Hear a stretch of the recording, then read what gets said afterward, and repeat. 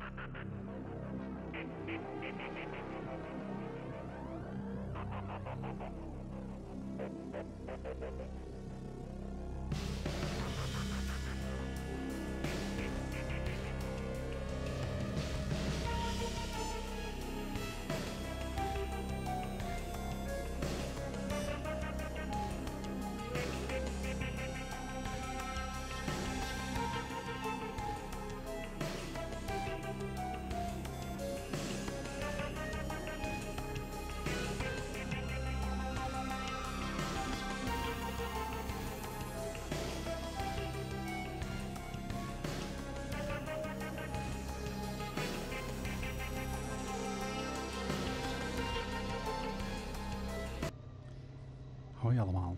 welkom bij ehm, zeg maar de laatste aflevering van de motorvakantie in 2022. We staan hier in eh, Luxemburg. Mijn eh, zus en zwager zie je hier in beeld. Ellen die eh, rijdt nu net weg. We hebben één nacht samen ehm, nou ja, een hotel geboekt. Onze wegen kruisten elkaar als het ware. En eh, we hebben besloten om eh, hetzelfde hotel te boeken als zij op de terugreis. Zij kwamen uit Kroatië terug en wij hebben nou ja, goed aangesloten zeg maar, bij, een, eh, bij een hotelovernachting. Ehm, ja, we rijden hier dus in het mooie, schitterende, supermooie Luxemburg. Ehm, ik wist dat het mooi was, maar het heeft mij echt nog meer positief verrast dan, dan ik eigenlijk al wist. Ehm, het is geen groot land, maar dat wat ze hebben is al schitterend mooi. Ik eh, zag ook best veel motorrijders. En ook zo'n beetje op dezelfde route zoals wij die ongeveer reden. Het eh, geluid van de motor zelf staat verschrikkelijk zacht. Ook dit is trouwens ook zo'n mooi stukje. Ehm, ik heb alleen de 360 camera. Ik heb geen geluid. Ik heb geen beelden van mijn helm. Ik weet niet wat ik gedaan heb de laatste twee dagen. Maar ehm, ik ben een hele hoop kwijt. Ehm, ja, wat ik al zei, het schitterende mooie Luxemburg.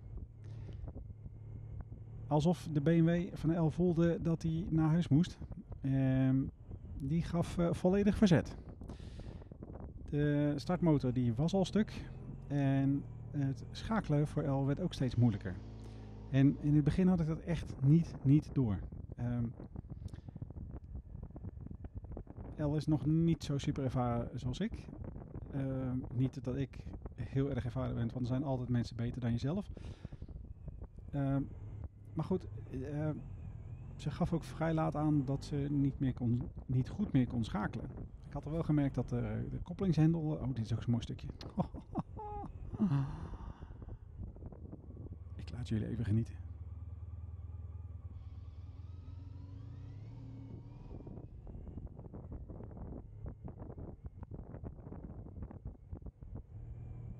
Ja, zo'n mooi bochtje dit.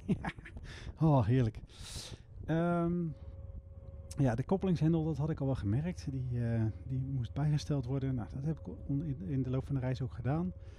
Eh, een beetje BMW eigen van dat model, van die eh, 1100 RT. Ehm, daar moet je die, die koppelingshendel gewoon goed in de gaten houden. De speling op de, op de ja, het begin of het eind, net hoe je het zeggen wil. Daar moet eh, ja, iets wat speling op zitten. Eh, en op een gegeven moment tijdens de reis eh, zat dat er niet op. Dus eh, het is ook een leuk stukje dit. Compliment aan El, want ook zij doet hem zonder mokken of doen. Ze twijfelt hier even. En uiteindelijk gooit ze hem gewoon rond. Iets wat ze normaal gesproken niet doet. En hier, dit bochtje, hier gaat het dus fout. Haar motor slaat af. Zoals ik al zei, die BMW is aan het bokken. Tonk en klaar. Nou ja, daar kan ik het hele stukje... Ik heb dus alleen die 360, dus ik kan wel alles laten zien. Maar goed, je hebt hem uiteindelijk weer aan de praat. El stapt weer op. Eh, en we rijden weer verder. Op dat moment is in dat bochtje ook redelijk geschrokken, want hij sloeg af. Ze heeft hem dus ehm, rechtop kunnen houden. Ehm, maar in de bochtje aandrijving kwijtraken is gewoon echt, echt niet leuk. Ehm, nou, nogmaals, ze heeft hem staande kunnen houden, de, de motor. Maar ze was wel even, nou, hoe zou dat zeggen, geschrokken. Ik denk dat ik dat ook wel zou zijn, dat ik even voorzichtig zou zijn. Want ja, een motor die je niet vertrouwt, kijk, ze houdt hier ook een beetje afstand. Net zat ze gewoon lekker achter me. En hier heeft ze gewoon even zo'n momentje van... eh bleh. nee, oké, dat snap ik. Ze zeggen ook, eh rij nou maar door. Eh, ik doe het zelf wel. Die snap ik ook alweer. Ja, ik in de beschermmodus en zij zoiets, joh, pft, rij door, laat me even. Nou, oké, prima. Kort erop eh, besluiten we dus ook eh, een parkeerplaats eh, op te zoeken. Ehm, die komt er zo aan als het goed is. Hier aan eh, wat mooie stukjes hier in een dal. En dan gaan we dus op een parkeerplaats staan. Daar had ik eigenlijk al moeten zien, moeten voelen, moeten merken dat het toch eigenlijk niet helemaal lekker ging. Maar ook voor mij de laatste dag, ehm, het laatste moment, onderweg naar huis. Eh, nog even een mooie paar uurtjes in Luxemburg rijden en dan gas erop naar huis. Hier stoppen we dus even op een eh, rustplaats, parkeerplek, hoe je het ook noemen wil. En wat ik al zei, ik heb dus alleen de 360 beelden. En eh, dit is trouwens wel het mooie van die 360 camera. Je kan dus iets laten volgen. Dat is wel het voordeel van die, van die Insta360 eh, camera en studio, zeg maar, even op je computer. Hier zegt Elders, ja, motor afgeslagen. Nou, wij weer gekeerd. Hup, motor weer aanduwen. Allee, hop. Nou, dat was mis. dus ik moest nog een keer. Jammer joh. Nou goed, motor weer aangeduwd. Allee, hop. Nou, motor aangeduwd, Elder weer op. En we gaan weer rijden, Oniva. En hier gaat eigenlijk al, zie je die voet? Die linkervoet. Wel, nee, het wil niet, het wil niet. Maar ik had het niet door, ik heb het niet gezien, ik heb er niet opgelet. Want uiteindelijk kon het dus wel. Nou ja, goed. Nog een stukje mooi eh, Luxemburg.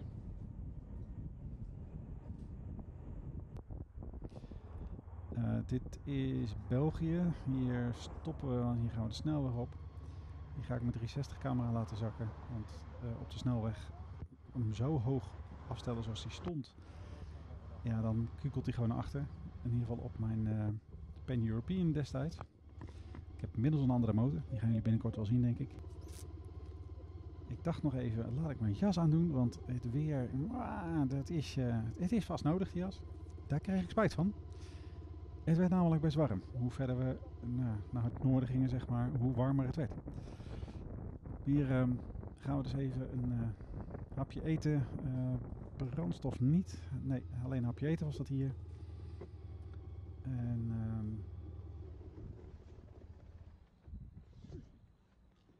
hier heb ik dus eh, nogmaals die koppeling afstand stellen, dat weet ik nog. Eh, kijk maar, lenig afstappen hè. We waren allemaal zo klaar. We waren er echt zo klaar mee. Ja, die wilde echt allemaal naar huis. Het was goed geweest. Het, is, eh, waren een mooie dagen. Een mooi aantal dagen.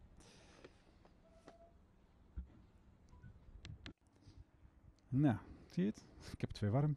Dus mijn jasje was weer uit. Even de motor wederom weer starten. Ik had dus nogmaals die koppeling heb ik afgesteld daar. Uh, het was niet helemaal naar mijn zin, maar het is gelukt. Dus uh, motor even aanduwen. Motor inmiddels aangeduwd. Het ritueel, dat hebben jullie inmiddels al zo vaak gezien. Dat hoef ik eigenlijk niet meer te laten zien. Maar goed. Het geeft wel de sfeer weer van de vakantie en hoe vaak we de motor hebben aangeduwd. Mijn hemel. El die had medelijden met me, maar ik had meer medelijden met haar.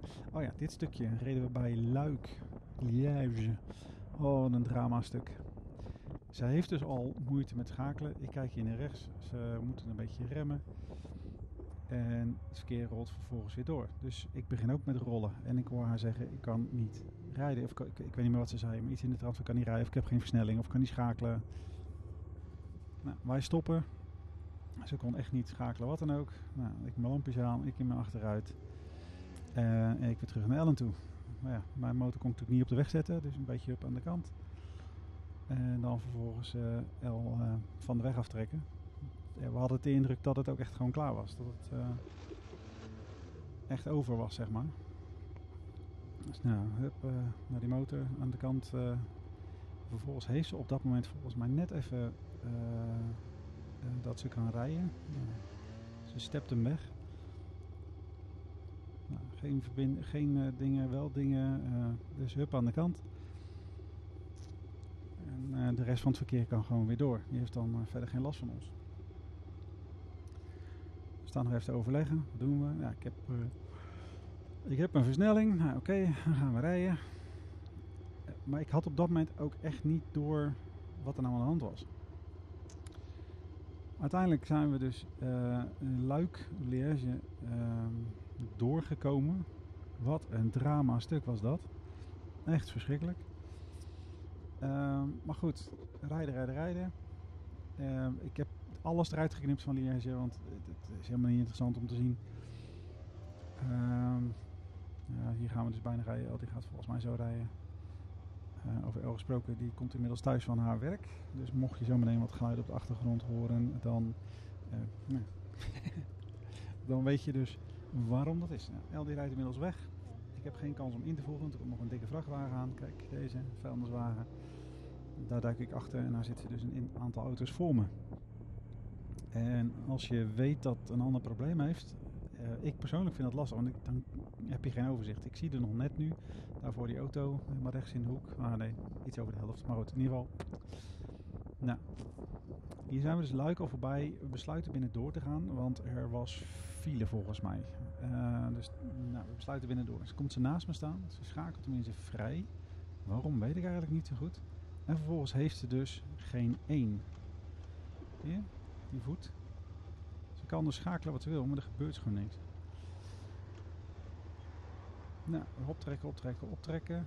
Ehm eh, ja, er gebeurt dus geen, geen ene klote. Dus nou, de koppeling los, koppeling vast, eh, op en neer, bewegen, bewegen, bewegen.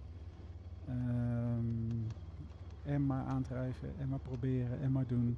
Het lukt gewoon echt niet met die motor. Ehm, dus we rijden nu naar de stoplichten en daar proberen we dan dus eh, door te rijden, zeg maar. Op het laatste moment eh, gaan we dan toch nog maar weer rechtdoor. Waarom we hier op linksaf stonden en rechtdoor gingen, ik weet het niet meer. Ehm, maar goed, dat hebben we dus wel gedaan. En ehm, na dit stuk komen we eigenlijk op een punt dat het gewoon echt niet meer gaat. Er kan gewoon echt niet meer geschakeld worden. Zie die voet trouwens, hè, want het schakelen gaat echt hier ook knudden. Frustratie, wel, niet, wel, niet. Hup, koppeling los en weer een beetje bewegen en in en uit. Wisten wij veel dat de versnellingspook los zat. Op dat moment. Als die versnellingspook los zit, eh, op een gegeven moment kun je gewoon trappen wat je wil, maar dan gebeurt er dus eigenlijk gewoon niks. Dan zit er beneden een stukje ijzeren plaatje en dan is het ook gewoon klaar. Nou, we hadden, althans L had hem zijn één. Dus nou, eh, hup, links, nee, toch maar niet, toch maar naar rechts. nou, hier eh, zijn we aan het rijden. We hebben een heel stuk hebben we toch nog door kunnen rijden. We komen op een gegeven moment stoplichten waar we af moeten remmen. En ehm, ja, er kan gewoon letterlijk niet meer geschakeld worden. Dus ehm, jammer, maar we gaan hier eh, rechtsaf. En ehm, we, gaan, eh, we hebben op dat moment de keuze gemaakt om de ANWB in te schakelen. Ja, weet je, dit is leuk, maar het stopt. Nou, let op de voetganger. Ik probeer nog mee te rijden, want ja, pech. ik wil erachter blijven. Helaas, er zit weer een auto tussen. En die auto snapt niet wat er aan de hand is, want ja, daar rijdt toch gewoon een motor voor je. Daar rijdt toch gewoon door. Maar ja, als je geen versnelling meer hebt, of althans niet goed geschakeld bent, dan kun je rijden wat je wil. Maar er gebeurt er niks. Goed, eh, hier eh, stoppen we dus. En eh, nou ja, de rest eh, spreekt voor zich.